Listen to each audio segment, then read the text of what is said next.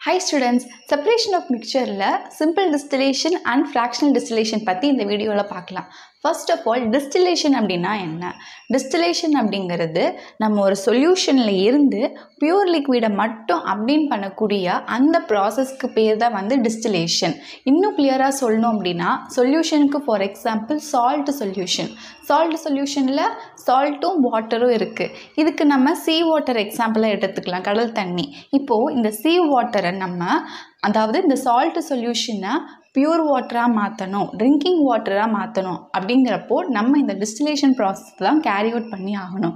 இந்த மெத்தடை தான் வந்து நிறைய கண்ட்ரீஸில் வந்து யூஸ் பண்ணுறாங்க இந்த டிஸ்டிலேஷன் ப்ராசஸில் பார்த்தீங்க அப்படின்னா எவாப்ரேஷன் அண்ட் காண்டன்சேஷன் அப்படிங்கிற இந்த ரெண்டு ப்ராசஸை வந்து கம்பைன் பண்ணி யூஸ் பண்ணுறாங்க எவாப்ரேஷன் அப்படின்னா என்ன? இப்போது டே டைமில் நல்லா சூரியன் சுட்டு இருக்குது அப்போது அந்த சீ வாட்டர் பார்த்திங்க அப்படின்னா எவாப்ரேட் ஆகும். அதாவது அந்த தண்ணி எல்லாமே வந்து கேஷியஸ் ஸ்டேட் ஆவியாக மாறும் ஹீட் ஆகும்போது அதுக்கு பேர் தான் எவாப்ரேஷன் இப்போது ஆவியாக மாறின அந்த இது கேஷியஸ் ஸ்டேட்டில் இருக்கக்கூடிய அந்த ஏர் பார்த்திங்க அப்படின்னா திரும்ப நம்ம கூல் பண்ணும்போது அது லிக்விடாக மாறும். அதுக்கு பேர் கண்டென்சேஷன் அப்போ லிக்விட் டு கேஸ் வந்து எவாப்ரேஷன் கேஸ் டு லிக்விட் வந்து கண்டென்சேஷன் அப்போ இந்த ரெண்டுத்தையும் தான் டிஸ்டிலேஷனில் வந்து யூஸ் பண்ணுறாங்க இந்த மெத்தடை இன்னும் கிளியராக சொல்லணும் அப்படின்னா சொல்யூஷன் எடுத்துக்கிறோம். அப்போது சீ வாட்டரில் சால்ட்டும் வாட்டரும் இருக்குது சால்ட் சொல்யூஷன் இது நீங்கள் ஹீட் பண்ணும்போது சால்ட்டை வந்து ஹீட் எதுவுமே பண்ணாது. சால்ட் அப்படியே தான் இருக்கும். பட் வாட்டரை ஹீட் பண்ணும்போது என்ன ஆகும்னா வாட்டர் வந்து எவாப்ரேட் ஆகும். ஆவியாக மாறும் கேஷியஸ் ஸ்டேட்டுக்கு வந்துடும் அப்படி இருக்கக்கூடிய அந்த கேஷியஸ் ஸ்டேட்டில் இருக்கக்கூடிய ஏரை நம்ம திரும்ப கூல் பண்ணும்போது என்ன ஆகும்னா அது பியூர் லிக்விடாக மாறிடும். இப்படி தான் வந்து ஒரு சால்ட் சொல்யூஷனை வந்து பியூர் வாட்டராக மாற்றுறாங்க ஒரு பியூர் லிக்விட் நமக்கு இப்போ கிடச்சிரும். இப்போ இந்த டிஸ்டிலேஷன் மெத்தடை யூஸ் பண்ணி நம்மளால் ரெண்டு லிக்விடை வந்து செப்பரேட் பண்ண முடியும். ஆனால் கண்டிஷன் என்ன அப்படின்னா அந்த ரெண்டு லிக்விடுக்குமே வந்து பாய்லிங் பாயிண்ட் வந்து it should differ more than twenty five kelvin அதாவது இந்த லிக்விடுக்கும் இந்த லிக்விடுக்கும் சரி இந்த ரெண்டுத்தோடைய பாயிலிங் பாயிண்ட் வந்து more than twenty five kelvin difference இருந்தால் மட்டும்தான் இந்த டிஸ்டிலேஷன் மெத்தடை யூஸ் பண்ணி நம்மளால் அந்த ரெண்டு லிக்விடையும் செப்பரேட் பண்ண முடியும். நெக்ஸ்ட்டு ஒரு எக்ஸ்பெரிமெண்ட்டை யூஸ் பண்ணி எப்படி நம்ம சீ வாட்டரை ட்ரிங்கிங் வாட்டராக பியூர் வாட்டராக மாற்றுறதுன்னு சொல்லி பார்க்கலாம். ஸோ ஃபஸ்ட்டு நம்ம டிஸ்டிலேஷன் ஃப்ளாஸ்க் வந்து எடுத்துக்கிறோம். இதுதான் வந்து டிஸ்டிலேஷன் ஃப்ளாஸ்க் இந்த டிஸ்டிலேஷன் ஃப்ளாஸ்கோட வாட்டர் கண்டென்சரை வந்து இப்படி ஃபிட் பண்ணி வைக்கிறோம். ஃபிட் பண்ணி வச்சதுக்கப்புறமா நம்ம தெர்மோமீட்டரை வந்து டிஸ்டிலேஷன் ஃப்ளாஸ்க்குள்ளே இன்ட்ரடியூஸ் பண்ணுறோம் சும்மா இன்ட்ரடியூஸ் பண்ணால் கீழே விழுந்துடும் ஸோ சப்போர்ட்டுக்காண்டி நம்ம இங்கே வந்து ஒன் ஹோல்டட் ஸ்டாப்பர் வந்து வச்சு அது வழியாக நம்ம தெர்மோமீட்டரை வந்து உள்ளே இறக்குறோம் டிஸ்டிலேஷன் ஃப்ளாஸ்க்குள்ளே இந்த தெர்மோமீட்டருடைய பல்ப் பார்த்திங்க அப்படின்னா இங்கே வந்து டிஸ்டிலேஷன் ஃப்ளாஸ்கில் ஒரு சைட் டியூப் வந்து இருக்குது அங்கே தான் இந்த வாட்டர் கண்டென்சரை ஃபிட் பண்ணி வச்சுருக்கோம்.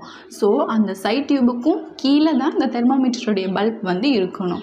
இப்படி ஃபிட் பண்ணி வச்சதுக்கப்புறமா நெக்ஸ்ட் என்ன பண்ணுறோன்னா இந்த டிஸ்டிலேஷன் ஃப்ளாஸ்கில் நம்ம சீ வாட்டரான பிளாக்கிஷ் வாட்டரை வந்து எடுத்து இதை வந்து நம்ம ஹீட் பண்ணுறோம் இந்த distillation ஃப்ளாஸ்க்கை through a burner so heat பண்ணோம்னா பண்ண என்ன ஆகும் அப்படின்னா இந்த சால்ட் வாட்டர் வந்து வேப்பரைஸ் ஆக ஆரம்பிக்கும். ஆவியாக மாறும். ஸோ ஆவியாக மாறும்போது ஒன்று கவனிங்க.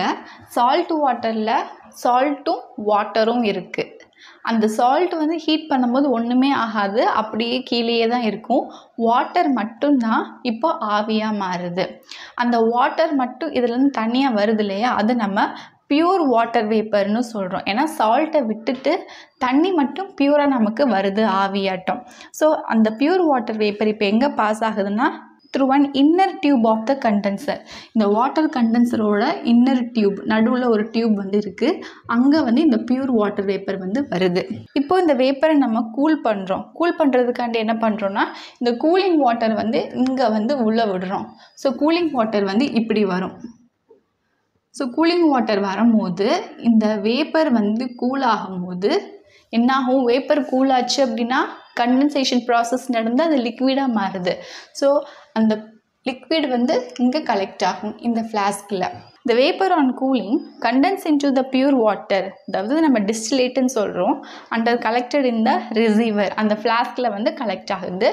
சால்ட் வந்து என்ன ஆகுதுன்னா லெஃப்ட் பிஹைண்ட் இந்த ஃப்ளாஸ்க் ஆஸ் ரெசிடியூ அப்போது எல்லா வாட்டரும் வந்து வேப்பராக மாறி பியூர் வாட்டர் கலெக்ட் ஆகிற வரைக்கும் நம்ம ஹீட் பண்ணிக்கிட்டே இருக்கோம். ரிமைனிங் சால்ட் எல்லாமே வந்து இந்த ஃப்ளாஸ்க்லேயே வந்து செட்டில் ஆகி இருக்கும்.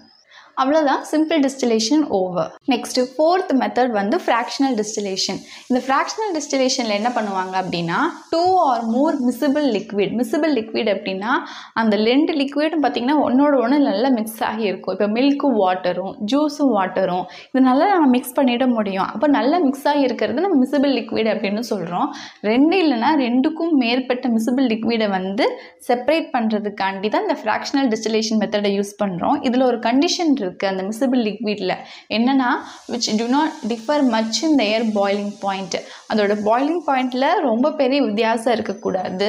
Differences in boiling point less than twenty five kelvin twenty five கேள்வினுக்குள்ளே தான் அந்த பாய்லிங் பாயிண்டோட டிஃப்ரென்ஸ் வந்து அந்த லிக்விட்ஸ்குள்ளே இருக்கணும் அந்த மிசிபிள் லிக்விட்ஸ்குள்ளே இருக்கணும். அப்படி இருந்தால் மட்டும்தான் நம்மளால் ஃப்ராக்ஷனல் டிஸ்டிலேஷன் மெத்தடை வந்து யூஸ் பண்ணிக்க முடியும்.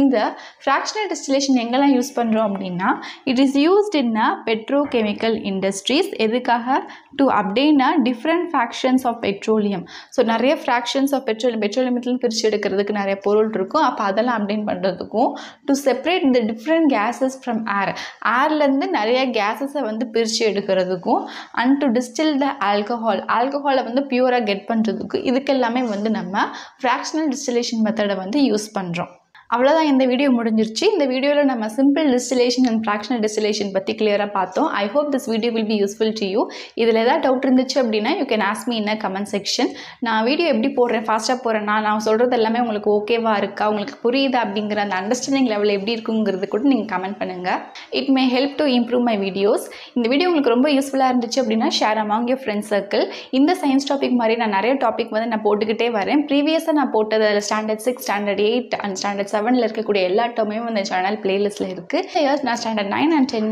வந்து போஸ்ட் பண்ணிக்கிட்டு வரேன். So don't miss it subscribe my channel and thank you for வாட்சிங்